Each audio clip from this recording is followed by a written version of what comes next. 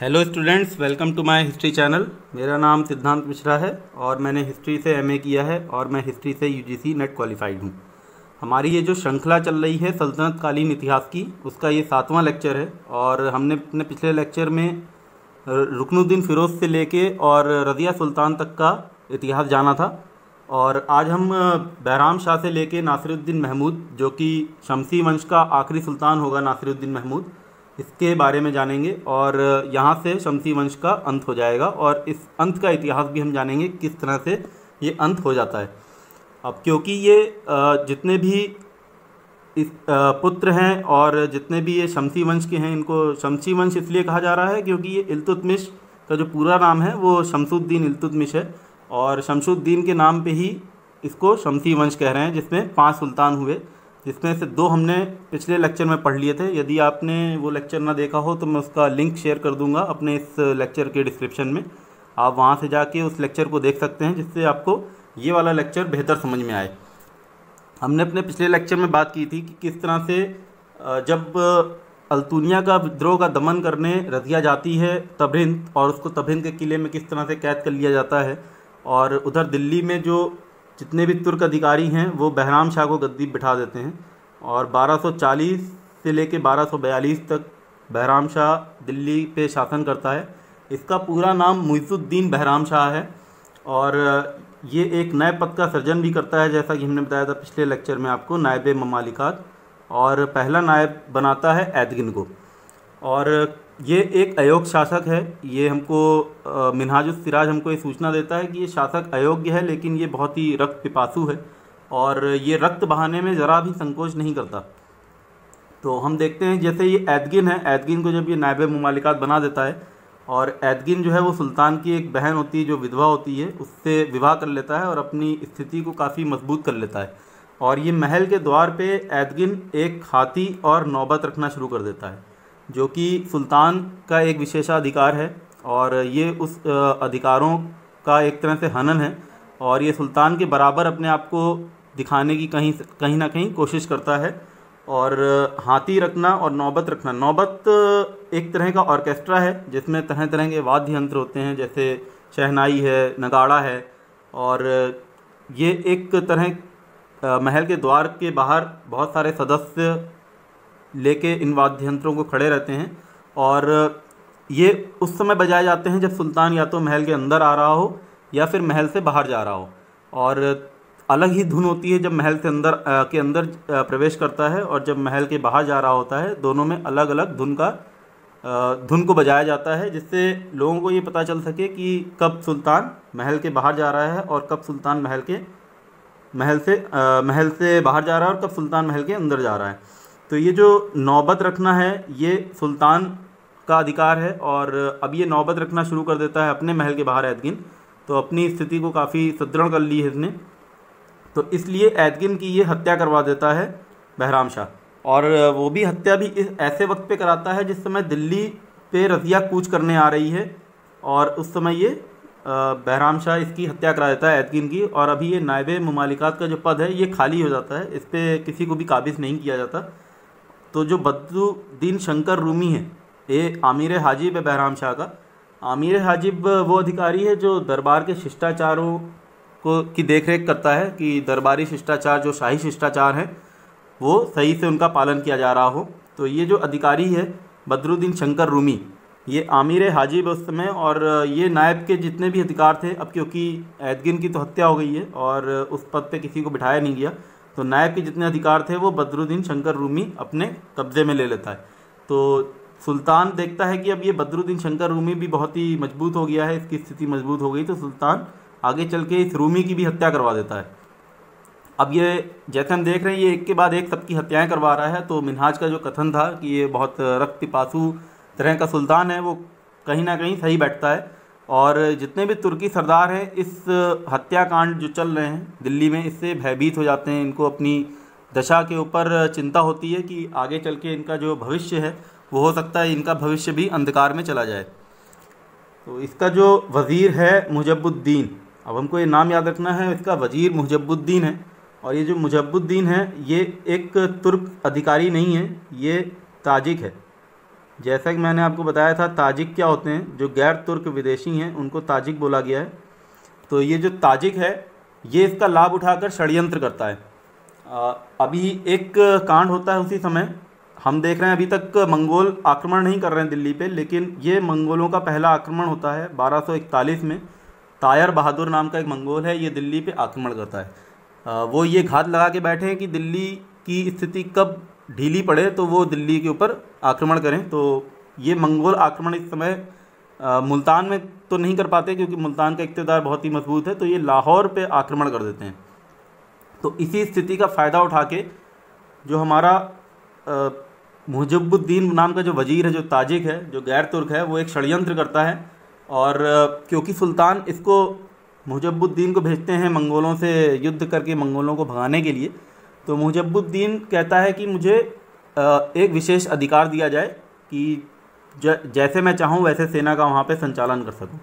तो सुल्तान उसको एक पत्र दे देते हैं और उस पर शाही मोहर लगा देते हैं मतलब एक तरह का ब्लैंक पेज पे एक साइन करके अपना दे देते हैं। अपनी जो अधिकार हैं, वो उसको दे दिए दे देते हैं मुजबुद्दीन को। अब ये मुजबुद्दीन जो पेज है उसके ऊपर पन्ने पे लिख देता है कि जितने भी तुर्की सरदार हैं, उनकी हत्या कर दी जाए। जो भी बहुत ज़्यादा मज़बूत हो रहे हैं और सुल्तान के विरुद्ध षडयंत्र कर रहे हैं, उनकी हत्या कर दी जाए। अब ये मुहजुबुद्दीन ये पन्ना जिस पर शाही मोहर लगी हुई है, ये आदेश जो है, ये जाके सभी तुर्की सुल्तान तुर्की सरदारों को दिखाता है और उनको बहराम शाह के विरुद्ध भड़का देता है।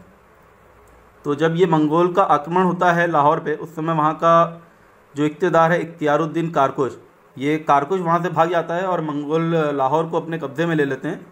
और जो वज़ीर है और हसन गौरी, इनको भेजा जाता है जब हसन गौरी और वज़ीर जो मुजबुद्दीन है, जब सुल्तान इनको भेजता है तो मुजबुद्दीन ये चाल चल के जो फरमान, जो धोखे से उसने सुल्तान से जो फरमान ले लिया था, वो तुर्की अमीरों को दिखा देता है। और इस तरह से तुर्की अमीर जितने हैं, वो सारे के सारे बहराम शाह के विरुद्ध खड़े हो जाते हैं और इनमें एक विद्रोह भड़क जाता है। अब ये विद्रोह करके सारे के सारे दिल्ली की तरफ़ कूच करते हैं और 13 मई 1242 में ये सारे तुर्की अमीर दिल्ली घुस जाते हैं और दिल्ली में घुस के बहराम शाह का वध कर देते हैं, उसकी हत्या कर देते हैं। तो बहराम शाह इस तरह से कुल दो वर्ष, एक माह और पंद्रह दिन शासन कर सका। अब ये जब बहराम शाह की हत्या कर देते हैं, उस समय एक किशलू खां जो तुर्की सरदार है, वो अपने आप को सुल्तान घोषित कर देता है। लेकिन जितने भी तुर्की अमीर हैं, वो किशलू खां को गद्दी पे बैठना उसका स्वीकार नहीं करते। और अब यहाँ पे हम देखते हैं, जो चौथा वंशज है अलाउद इल्तुतमिश का अलाउद्दीन मसूद शाह। ये रुकनुद्दीन फ़िरोज़ का पुत्र है और जैसा कि हमने बताया आपको इल्तुतमिश का पुत्र था रुकनुद्दीन फ़िरोज़ और ये रुकनुद्दीन फ़िरोज़ का पुत्र है। तो ये इल्तुतमिश का पौत्र है। इसको गद्दी पे बिठा देते हैं सारे तुर्की सुल्तान। और अब जो कुतुबुद्दीन हसन गौरी है, इसको बना देते हैं नायब ममालिकात। जो हमने भी देखा था, जिसको अभी पिछला बहराम शाह, जिसको मंगोलों के विरुद्ध लड़ने के लिए भेजता है, कुतुबुद्दीन हसन गौरी और मुजबुद्दीन को तो ये कुतुबुद्दीन हसन गौरी को नायब ममालिकात बना देते हैं। और इख्तियारुद्दीन कारकुश, जो लाहौर का इकतदार था, जो भाग किया गया था, उसको आमिर हाजिब बना दिया जाता है। तो इस तरह से जितने भी तुर्क अधिकारी हैं वो बड़े बड़े पदों पे फिर से नियुक्त हो गए और इसका जो वज़ीर है, जो बहराम शाह का जो वज़ीर था मुहजबुद्दीन जो कि ताजिक था, ये बहुत ही महत्वाकांक्षी है।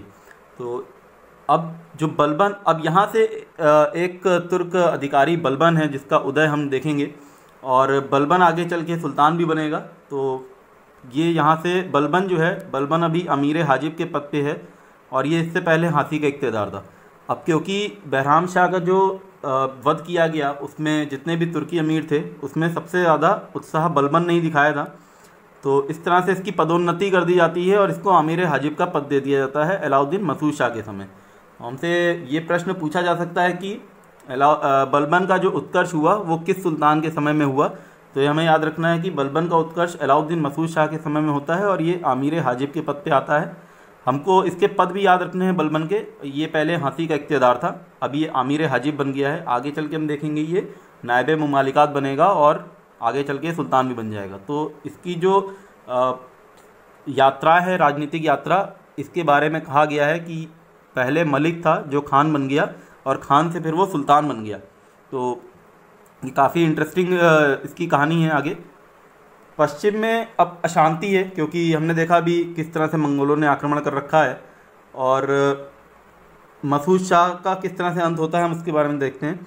तो 1245 में हसन कारलुक, जैसा कि रजिया सुल्तान के समय में जो आक्रमण मतलब जो मंगोलों के विरुद्ध आक्रमण करने के लिए दिल्ली से सहायता माँगता था, वो पंद्रह पे मुल्तान पे अधिकार कर लेता है।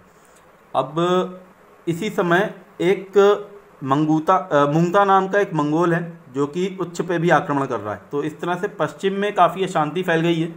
लेकिन अब यहाँ से हम देखते हैं कि बलबन की जो नीतियाँ हैं, वो किस तरह से दिल्ली सल्तनत को किस तरह से मज़बूत करेंगी और विदेशी आक्रमण जितने भी हो रहे हैं मंगोलों के, उससे दिल्ली सल्तनत को किस तरह से बचाता है? ये बलबन का जो नेतृत्व है, इसके नेतृत्व में जो सेना है, वो पहुँचती है रावी नदी।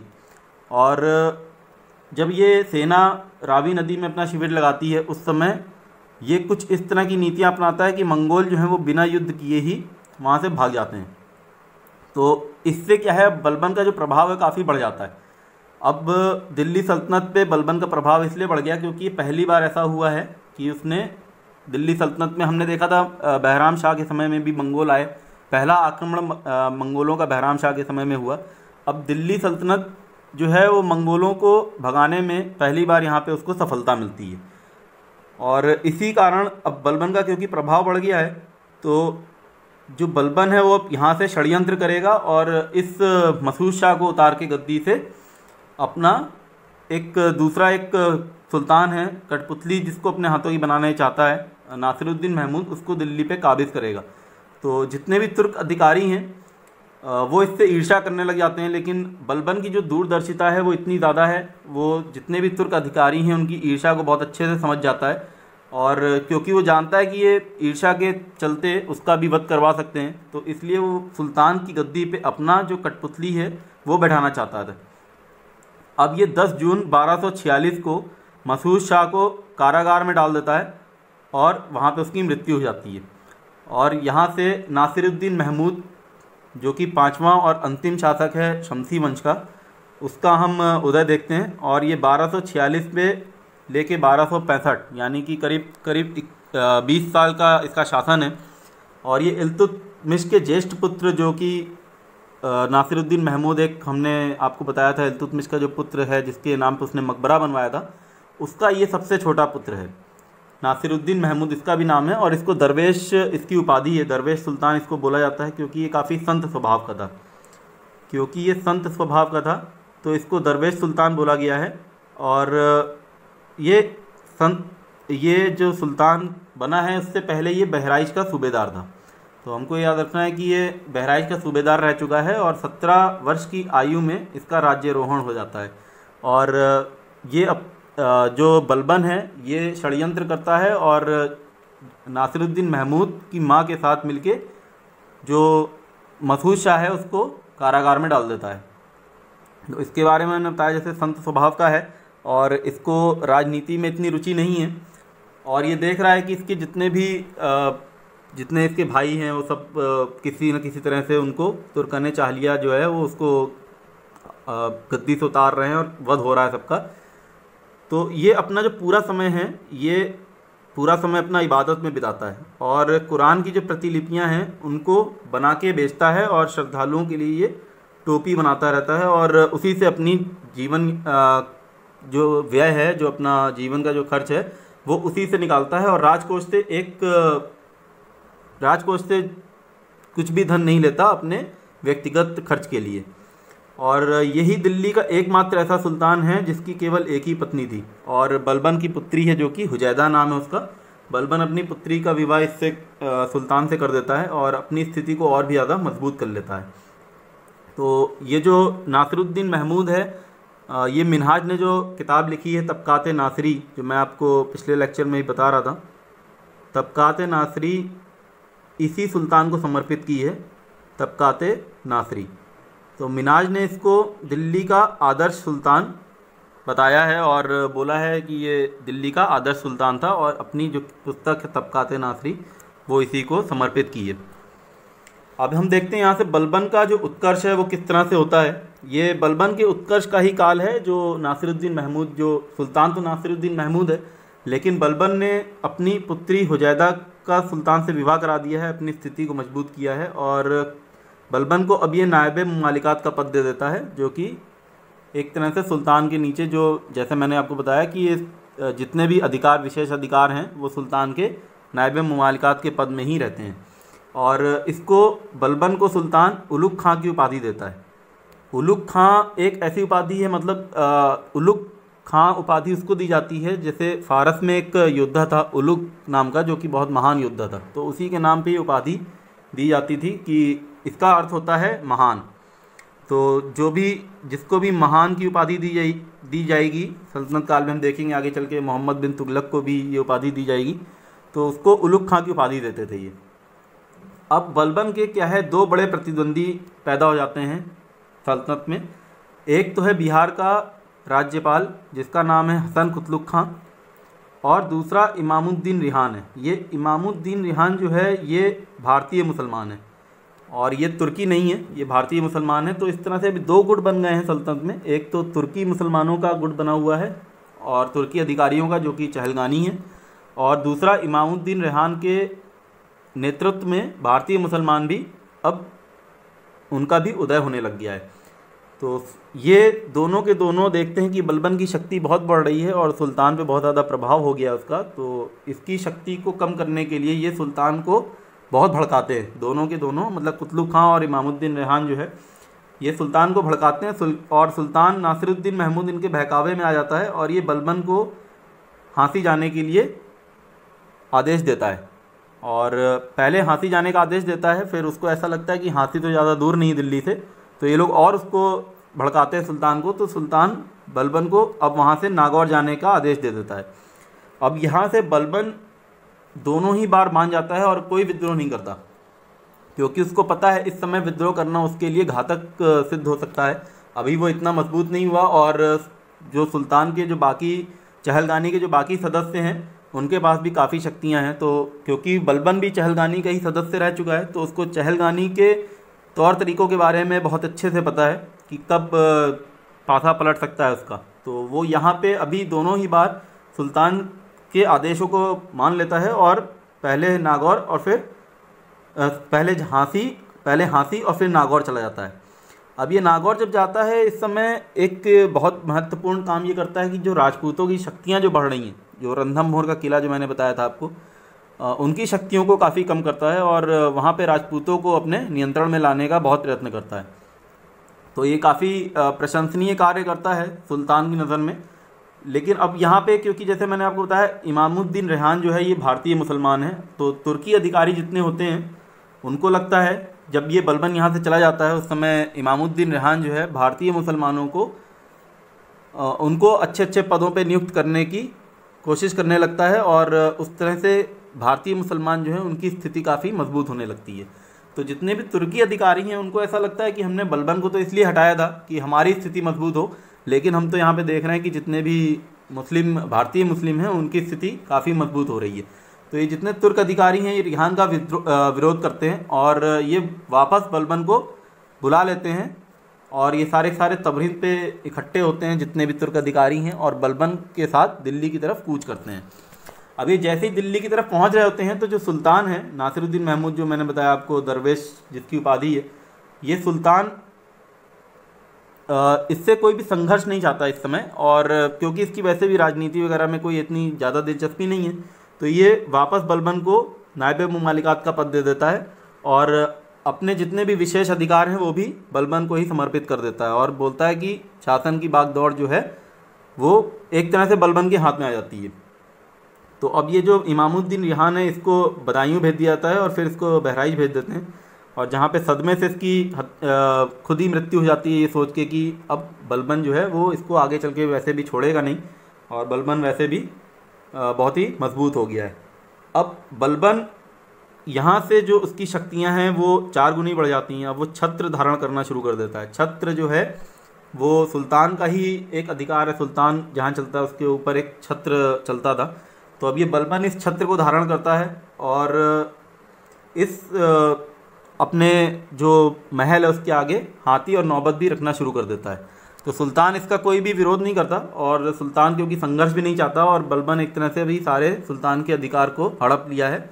और बैठा सुल्तान है नासिरुद्दीन महमूद, लेकिन नासिरुद्दीन महमूद को भी पता है कि वो केवल नाम का सुल्तान है क्योंकि उसने अपने पुराने जितने भी सिंहासन पे बैठे हुए अपने भाई बहनों की दशा तो जानता ही था कि किस तरह से तुलकरें, चालिया ने उसको समाप्त किया है।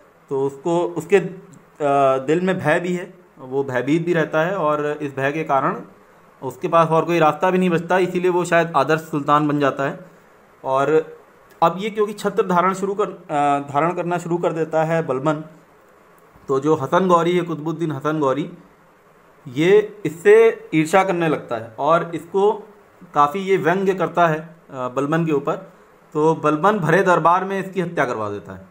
अब ये हम पहली ऐसी राजनीतिक हत्या देख रहे हैं जो भरे दरबार में हुई है। तो और इस हत्या के बाद भी बलबन को सुल्तान की तरफ़ से कोई भी ऐसा आ, कोई भी आ, कोई भी विरोध नहीं होता सुल्तान की तरफ़ से और सुल्तान इसको नज़रअंदाज कर देता है एक तरह से। तो इससे ही हमको ये पता चलता है कि बलबन अब कितना ज़्यादा मज़बूत हो चुका है और वो हत्याएँ भी कर रहा है और फिर भी सुल्तान उसको कुछ नहीं कर रहा।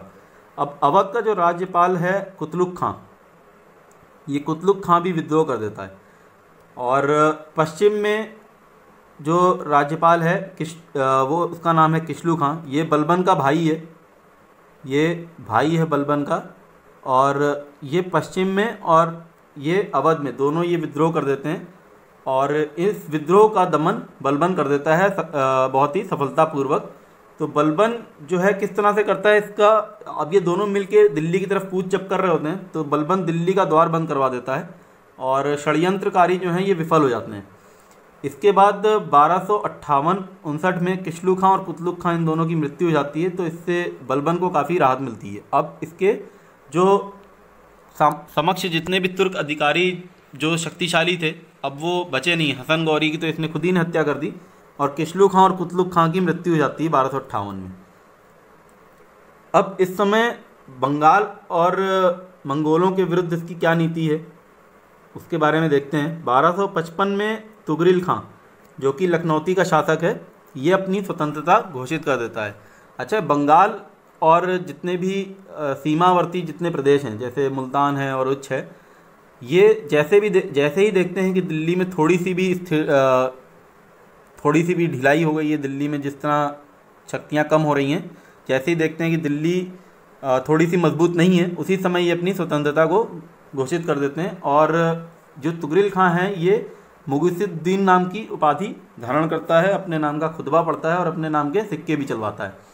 तो अब हमने ये याद रखना है कि तुगरिल खां मुगीसुद्दीन की उपाधि धारण करता है। इससे पहले हमने देखा था कि अली मर्दन खां ने अलाउद्दीन की उपाधि धारण की थी और दूसरा जो सुल्तान था बंगाल का एवास खिलजी, उसने भी एक उपाधि धारण की थी। तो हमको ये उपाधियाँ याद रखनी है और, अब हम देख रहे हैं कि ये भी अपने आप को सुल्तान ही बना रहे हैं तो एक तरह से सल्तनत, बंगाल में भी एक सल्तनत की स्थापना कर रहे हैं।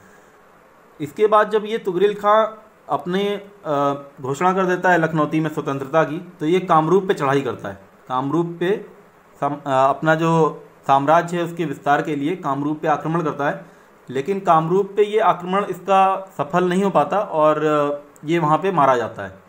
तो जब ये कामरूप में मारा जाता है तो जो कड़ा एक जगह है, उत्तर प्रदेश में, यहाँ का एक सूबेदार है अरसलान खां। ये लखनौती पे अपना अधिकार कर लेता है। और महमूद के शासन मतलब जो महमूद का जो शासन है, उसके अंत तक जो बंगाल है वो स्वतंत्र ही रहता है और इस पर अधिकार नहीं हो पाता दिल्ली सल्तनत का दोबारा। अब ये जो मंगोल जो आक्रमण कर रहे थे, वहाँ पे एक नेता है मंगोलों का, हलाकू। ये हलाकू और सुल्तान के बीच में एक समझौता होता है और ये समझौता इसलिए हो पाता है क्योंकि बलबन की जो नीतियाँ हैं, उसके तहत मंगोल अब दिल्ली के साथ समझौता करना चाह रहे हैं। तो हलाकू के जो राजदूत हैं, वो दिल्ली आते हैं और बलबन कुछ ऐसी नीति करता है कि जितने भी शत्रु हैं, उसके बलबन के जितने भी शत्रु हैं, उनके काटे हुए सर का प्रदर्शन कुछ इस तरह से करता है कि राजदूत जो आ रहे हैं हलाकू के जो मंगोल जो राजदूत आ रहे हैं, उनको शासन की शक्ति का अनुमान लगे। और वो, उनको ये लगे कि दिल्ली बहुत ही ज़्यादा शक्तिशाली है और दिल्ली पे आक्रमण करना भी इतना आसान है नहीं। तो जो हलाकू है, वो सुल्तान को ये आश्वासन दे देता है कि पश्चिम सीमा पे अब वो कोई विरोध नहीं करेगा। और 1260 इकसठ में जो मिस्र की सेनाएँ हैं, वो हलाकू को हरा देती हैं। अब ये आ, कुछ इतिहास की घटनाएँ घट रही हैं मध्य एशिया में। तो इससे दिल्ली किस तरह से प्रभावित हो रही है ये उसके बारे में है कि हलाकू को मिश्र की सेनाएँ जब हरा देती हैं और हलाकू की मृत्यु हो जाती है उससे बलबन को काफ़ी राहत मिलती है कि अब मंगोलों का जो खतरा है वो कुछ समय के लिए अब टल गया है। अब इसके बाद जो है बलबन थोड़ा साम्राज्य विस्तार भी करता है नासिरुद्दीन महमूद के अधीन होके।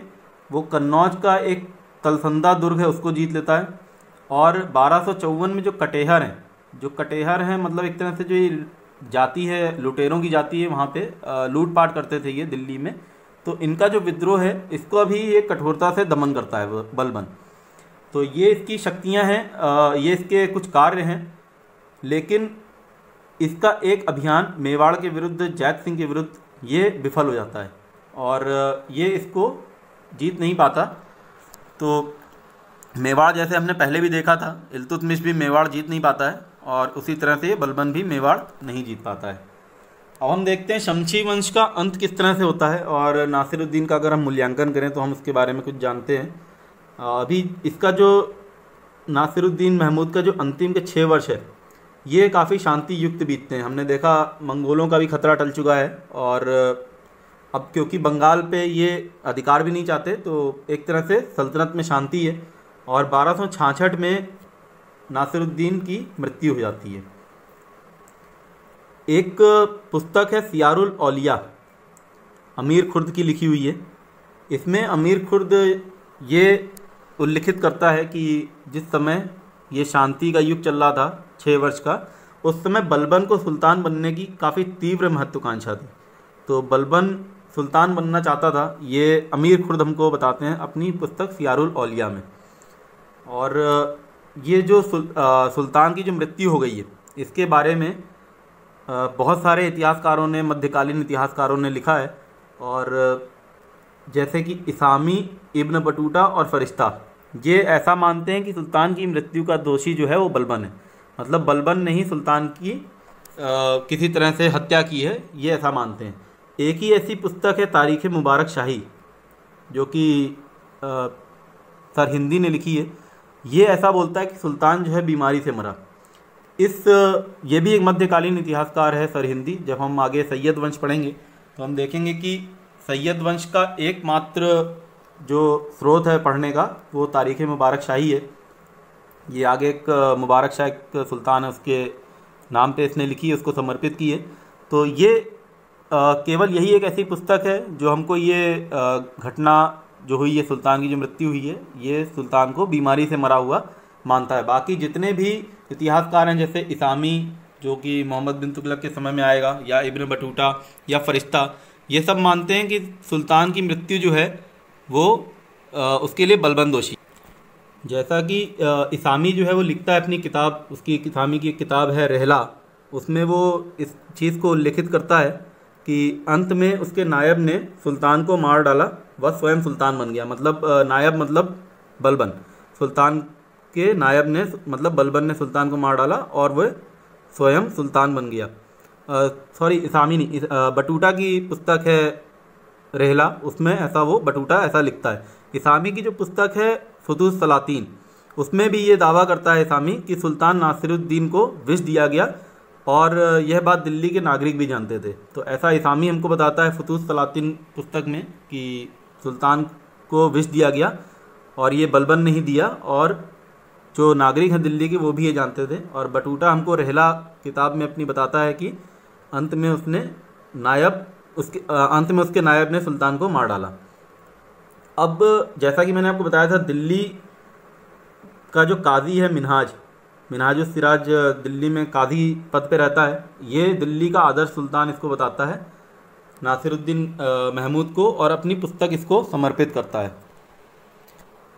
इसमें अगर हम इसका मूल्यांकन करें तो जितने नासिरुद्दीन पहले के कठपुतली सुल्तान थे, के पहले जितने भी सुल्तान हुए जो कठपुतली थे, और अब आगे चल के हम देखेंगे बलबन का एक निरंकुश शासन आएगा। ये नासिरुद्दीन, महमूद इन दोनों के बीच की कड़ी है एक तरह से, और इसने काफ़ी लंबे समय तक शासन इसीलिए किया क्योंकि इसने कोई भी विरोध नहीं किया तुर्की अमीरों का, और अपने सारे अधिकार तुर्की अमीरों को दे दिए। तो जो संघर्ष चलता था तुर्की अमीरों और सुल्तान के बीच, संघर्ष ही यही था कि बड़ा कौन है अधिकारों में। तो इसने तो अपने सारे अधिकार दे के पहले ही समर्पण कर दिया, इसीलिए शायद ये इतने समय, लंबे समय तक शासन कर सका। जैसा कि हमने देखा, पिछले इसके चार सुल्तान थे, वो बहुत ही जल्दी जल्दी गद्दी से बैठे और गद्दी से उतार दिए गए।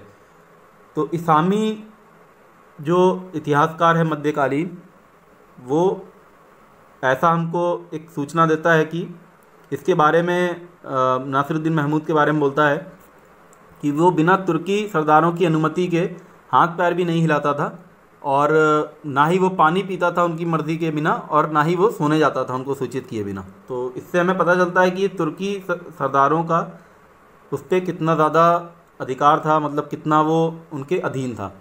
तो हमको ये पूछा जा सकता है कि किस इतिहासकार ने नासिरुद्दीन महमूद के बारे में ऐसा बोला है कि वो बिना तुर्की सरदारों के ना हाथ पैर हिलाता था, ना सोने जाता था।